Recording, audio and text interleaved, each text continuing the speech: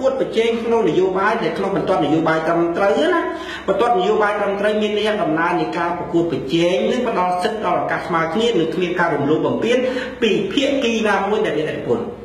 នៅក្នុងស្ថានភាពបរិបទនយោបាយនៅក្នុងស្រុកខ្មែរ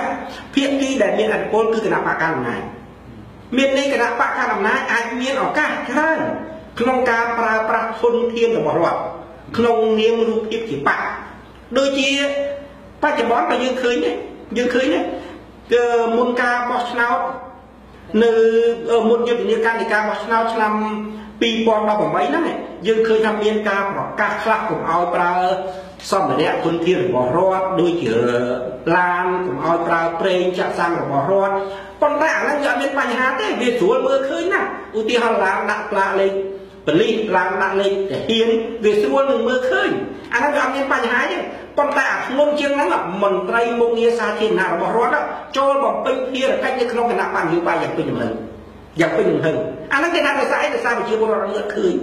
មើលឃើញគេនិយាយអាណានិយាយអាណាស្រួលថាឲ្យមើលឃើញហ្នឹងគេថាអូ